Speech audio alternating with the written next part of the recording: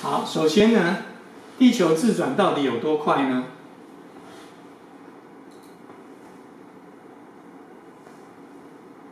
大家都知道啊，地球会自转，因为有地球的自转呢，造成我们每天看到太阳会升起来，然后太阳会掉下去哈。有人要进来，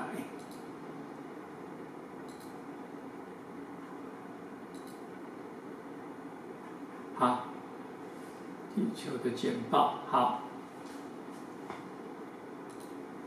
那。太阳会升起来，太阳会掉下去。那在地球不同的位置呢，也会因为地球升起来的时间不一样呢，而有不同的时区。像，哎，我们在台湾的时区跟美国的时区就会不一样。那美国因为土地非常的大，所以呢，如果同一个时间的话呢，就会有人这个。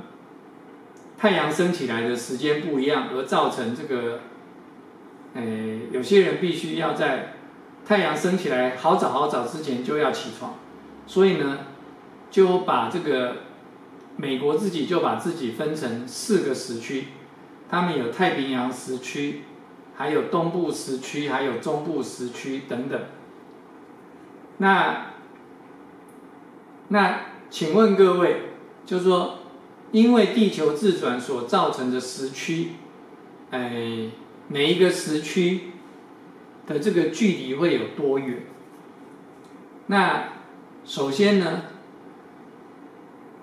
因为这个地球是圆的，所以呢，赤道绕一圈是比较远，但是呢，离离开赤道之后，这个靠近北极。这个每一圈的距离就会变得比较小圈，所以距离也比较短。那我们如果以赤道来考量的话，赤道一圈呢大约是四万公里。那时区呢，地球总共分成，哎，二十四个时区。好，那所以把这个分成二十四个时区，四千四万公里除上二十四的话。每一个时区呢，相隔一千六百六十七公里，所以呢，只要在赤道上每隔一千六百公里就会跳到另外一个时区。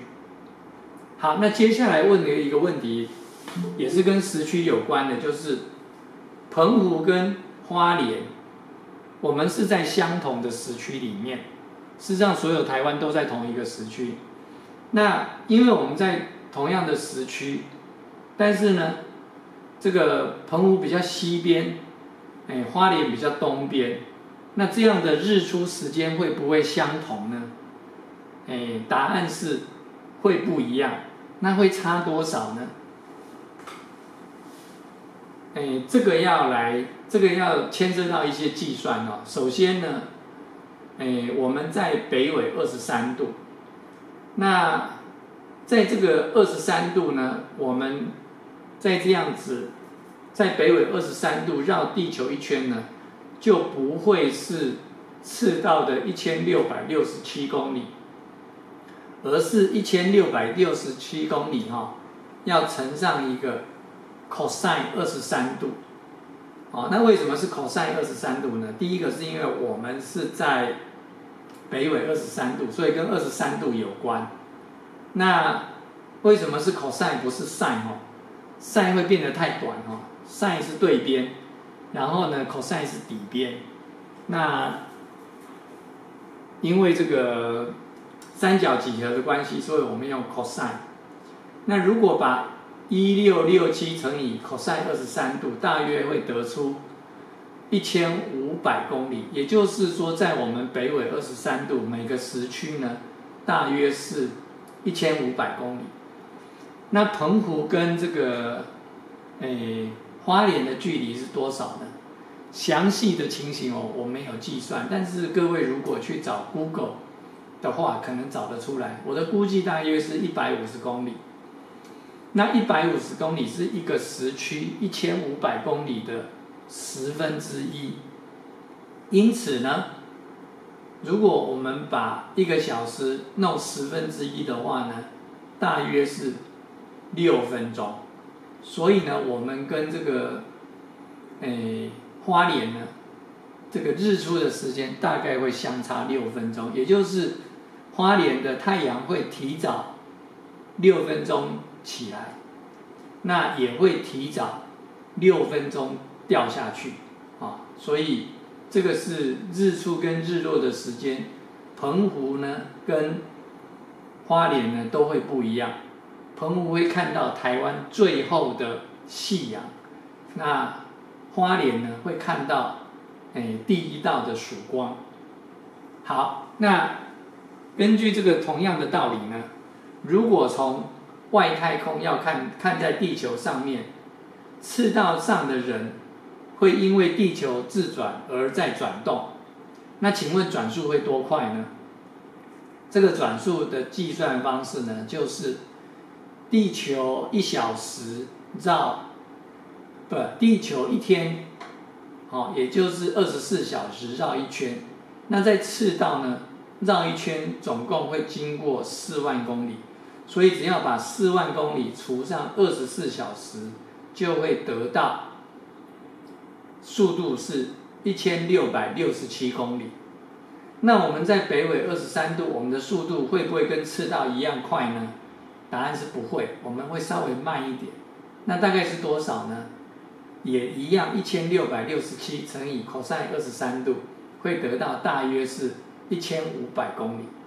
所以呢，我们现在目前站在地球上，坐在老师的客厅里，你们坐在你们的寝室的这个书桌上，虽然你们不觉得动，但是呢，如果是从外太空来看的话，也就是远离地球来看地球的话，我们每个人的转速呢，都会达到每小时一千五百公里，啊，一千五百公里一小时，这是一个非常非常快的速度。好，那我们刚才讲的都是用这个公里来计算，那有时候我们听到这个海里。那海里跟公里有没有什么差异呢？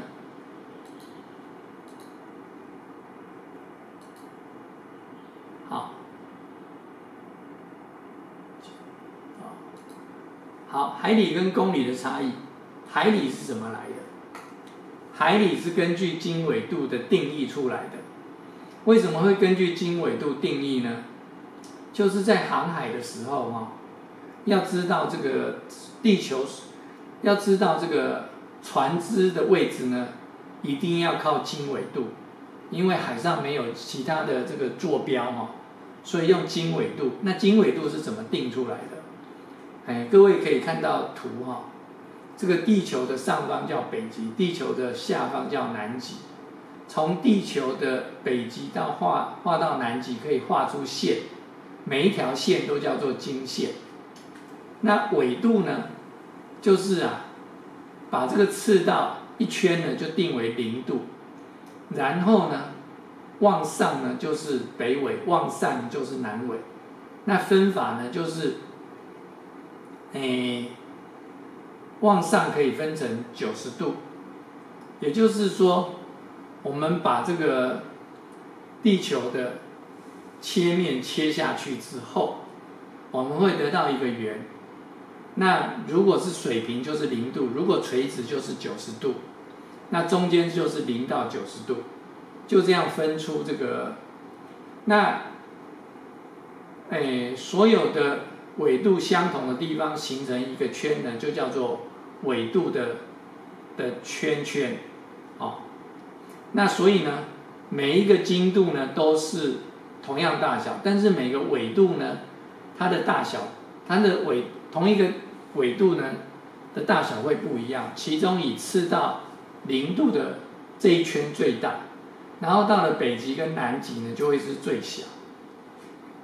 好，有了这个之后呢，我们知道经度纬度之后呢，我们可以在，诶纬度呢从零度到九十度，啊，它每一段呢，它每一段呢，诶，把它分成这个九十等份，啊，所以呢，不管在地球的哪一个位置，它的纬度的距离呢，都会是一样的。比如说我们在南美洲这个地方，好，从零度到北极这样九十度呢，都会是，诶一万公里，都会是九十度。那如果绕过来绕到亚洲那边去，我们从诶新加坡一直到北极。从零度到九十度一样会是同样的距离，但是经度呢？如果是从美国的这一边到另外一边，跟赤道的这一边到另外一边，这个经度的距离呢就会不一样。所以呢，我们可以用纬度啊来定距离，每一个纬度呢，好每一。每一个纬度，啊，从零度到九十度，我们取其中的一度，每一度呢，可以再把它分成六十个等份，那每一个等份呢，就叫做一个纬分，所以一纬度有六十纬分，那我们就把一个纬度呢定成六十海里，那。一纬度有六十海里，那从赤道到北极总共有九十度，那九十乘上六十呢，就是五千四，所以从赤道到北极呢是五千四百海里，好，那每一个纬度是六十海里，每一个纬分是一海里，那我们如果把它改成公里来定位呢，啊，来定义呢？因为这个，我们知道这个地球绕一圈哈是四万，那绕着赤道是四万，那从南极绕到赤道再绕到北极，这样绕一圈呢，也差不多是四万。好，那如果只有四分之一，也就是从赤道绕到北极呢，就会是一万。那这为什么正好是一万呢？其实也是人定的哈。那所以呢，赤道到北极是一万公里，那如果是海里呢，是五千四百海里。哦，那所以呢，一个纬度又相当于一百一十一公里，一个纬分呢是一点八五公里。那这样子比较呢，一海里等于一点八五公里，所以海里跟公里就是这样子的差异。也就是说，海里是根据纬度定出来的，那公里呢？啊，是根据这个地球的圆周定出来的。好，那公里是怎么定呢？公里是当年是由法国人定的，在一七八九年法国大革命胜利之后，他们的国民公费命令法国科学院。组织一个委员会来定定标准的度量衡。那他们提出一个十进位的方式。为什么提出十进位？哈，因为当初哈，这个英国盛行的是，诶，一尺等于十二寸，好，并不是十二进位。那我们因为我们的手指头哈，只有这个十根，然后呢，阿拉伯数字呢？也只有一到九，然后到零，所以呢，我们认为呢，十进位是一个比较，哎，比较简单的系统，比起十二进位或是十六进位来讲，是一个比较简单的系统。所以当初呢，法国人就决定度量衡要用十进位，那他们就定了从巴黎的子午线，从赤道一直到北极。这样子的距离呢，叫做哎一万公里，那一公里呢又变成一千公尺，所以呢，把这条距离的千分之一定为一公尺，这样就出来了。那他们这个定义呢，叫做一个 matter，啊，后来呢就叫做 meter，啊，公公字就是这样定出来的，是法国人当初定出来的。好，那有了公尺呢，就可以定义公里。那通过子午线，哦，什么叫子午线呢？就是地球哦，就像破西瓜这样切下去哦的的线呢，就叫做子午线，也就是经过地心的线呢，就叫做子午线。那子午线从赤道到北极呢，就定义成一万公里，所以地球呢，诶，从赤道经过北极，再绕到南极，再回到赤道，这样一圈呢，就被定义成四万公里。哦，所以呢，地球赤道绕一圈也差不多是四万公里。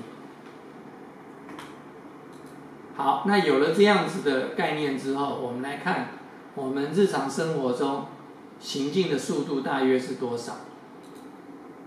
首先步行，我们步行的速度呢，大约是每小时可以走到大约是四到五公里，也就是如果我们一秒钟走一步，每一步一公尺，事实上是。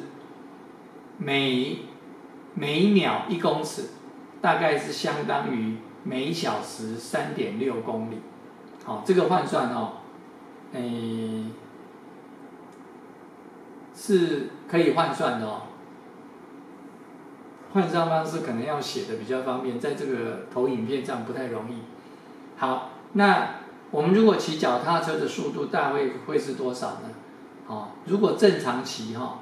不是特别冲的特别快呢，大约是介于十到二十公里，骑慢一点是每小时十公里，骑很快呢大约是二十，那一般的速度呢大约是每小时可以骑十五公里。那机车的速度呢大家都很熟悉，因为我们有机车的码表，所以我们看着码表，我们大概可以知道我们的速度。那机车的码表速度通常会显示大概在。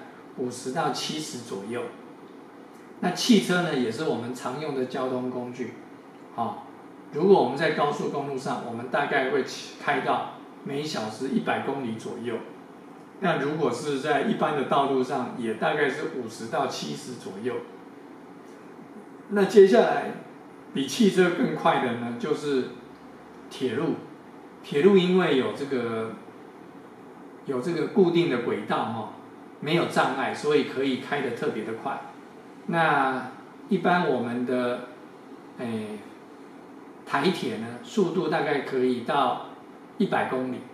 但是如果是高铁的话，因为它的这个轨道哈没有间隙，是焊焊住的，所以它可以跑得更快。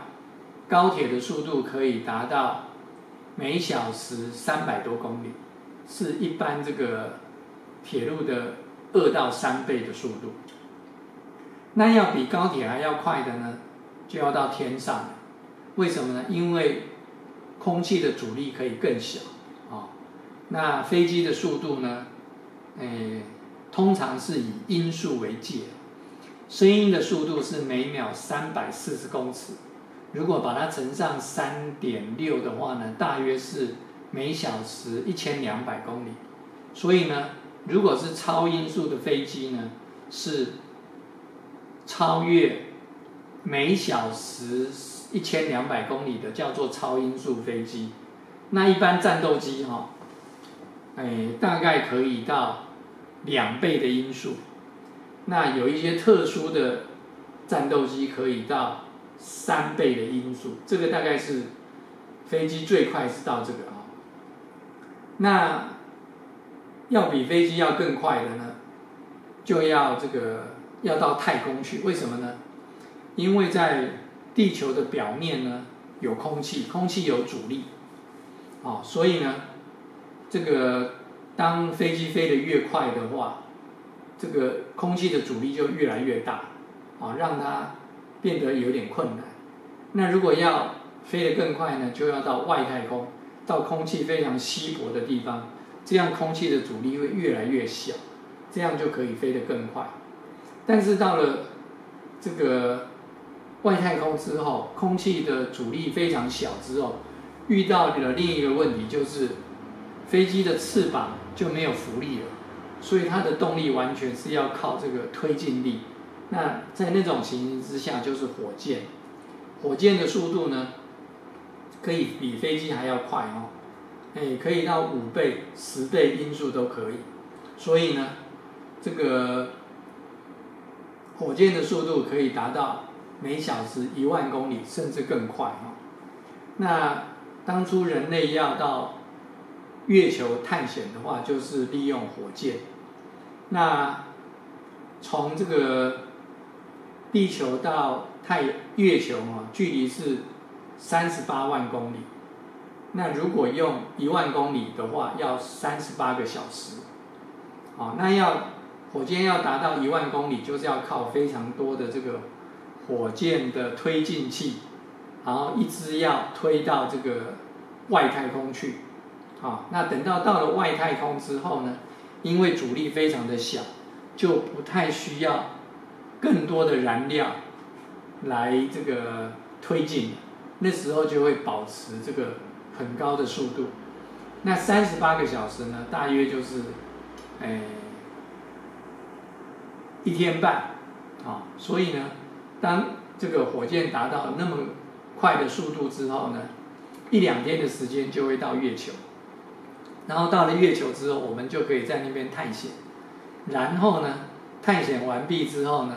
又可以以非常快的速度呢回到地球上来，那这样子呢，大概一周的时间就可以往返月球，啊，哦，这个是火箭的速度。那接下来呢，我们刚才说飞机的速度很快哦，但是飞机虽然可以很快，但是飞机也可以飞得非常的慢哦，原因是。通常啊，飞机要飞那么快，是因为要足够的速度呢，才能够产生足够的升力。啊，那如果要飞慢可以，哦，那翅膀要够大，才能够飞得慢。那这个飞得最慢的飞机呢，就是人力飞机。人力飞机呢，是利用这个。人的力量哦，去踩那个脚踏车的踏板，那那个踏板呢，在带动这个人力飞机前方的这个螺旋桨。当螺旋桨呢转动这个空气的时候呢，就会对飞机产生一个推进力。好，那有了推进力之后呢，空气会在翅膀的上下方通过，通过的时候。因为通过的速度不一样，然后就会产生这个升力。那这是怎么一回事呢？这个我们看一下飞机飞行的原理。飞机飞行的原理是靠这张图啊，飞机的引擎对飞机作用啊，产生一个向前的力量，叫做推力。那它在行进的过程，因为遇到空气有阻力，所以产生一个阻力。那在飞的过程之中，它受到地心引力的影响，所以它有一个向下的重力。那这个重力如果没有一个升力给它抵消的话呢，飞机就会慢慢的掉到地上来。所以要有一个升力。那这个升力哪里来的呢？这个升力是由空气通过飞机机翼的时候产生的，那这个升力要随时跟这个重力啊要互相抵消。如果升力太小，重力太大呢，飞机就会往下掉；如果升力大于重力呢，这个飞机就会持续的往上加速，然后爬升。好，这个是。飞机所承受的四个力，那刚才那个人力飞机呢，也是符合刚才这四个力量，它在行进的时候呢，是靠这个驾驶哈，踩着踏板产生的这个推力。那在行进过程，因为有遇到空气哦，也有阻力，这两个力量呢要互相抵消，它才能够等速的保持前进。如果那个飞行员哈体力耗尽了，它产生的推力越来越小，那因为空气阻力没有变哦，它就会越来越慢。那越来越慢哦，这个飞机能够产生的那个翅膀。它的这个升力也会越来越小，那它就会往下掉。所以人力飞机最重要哦，就是飞机要轻，让它的重力小。所以呢，只要小小的升力就能够让它浮在天上。那另外一点呢，那个是飞行员要有非常好的体力，它的速度能够保持固定，才不会因为这个体力下降，然后速度变慢，啊。然后就慢慢的落地，这样就跑不远。好，讲到这里呢，我们来介绍一下星体。星体之间的距离哈，呃，是非常非常遥远的。看这个图片来讲的话，我们到地球的距离哈是一亿五千万公里，一亿五千万公里。在我们人类的这个历史经验当中，哈，是一个非常遥远的距离，因为我们目前所到过唯一的星体就是月球，只有三十八万公里。那我们地球上，哎，绕一周也不过四万哈。因此呢，一亿五千万，对我们来讲是一个非常非常远的距离，啊，因为人类相比于太阳系来讲，实在非常的渺小。那当我们探索完月球之后，我们就看着这个地球以外的行星哈，比如说这个火星，火星距离太阳呢，大约是地球的，诶，还不到两倍。我们距离。地球呢，我们距离太阳是一亿五千万，那火星呢，距离太阳呢，大约是两亿五千万。所以，如果地球跟火星跟太阳形成一直线的话，这样呢，我们有可能距离哎火星最近。但是，即使最近的话呢，也有一亿公里。那比起我们跟月球的距离，三十八万哦，一亿跟三十八万比起来，还是在差的太多了，哦，所以一亿呢就是一万万，那我们距离地球是三十八万，所以如果把一万除以三十八呢，大约还是三百倍的距离，所以呢，我们如果